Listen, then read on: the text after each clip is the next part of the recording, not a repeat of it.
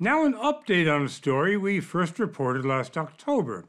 It was about a singer and songwriter called Rodriguez and the documentary film that chronicles his curious career. Sugar man. He worked a lifetime in obscurity as a day laborer in Detroit. I wonder. But Rodriguez was a musical legend in South Africa, where albums from the 60s made him bigger than the Beatles. His fans believed him dead, and they never saw a penny from his hits. That is, until he was resurrected by a young Swedish filmmaker with the documentary Searching for Sugar Man.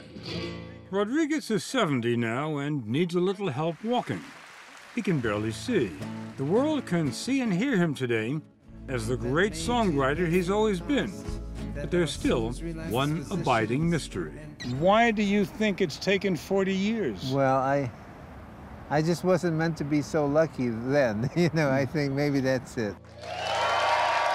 Rodriguez is now playing to sell out crowds around the world. And as for that documentary, last Sunday night, it won an Oscar. I'm Bob Simon. We'll be back next week with another edition of 60 Minutes.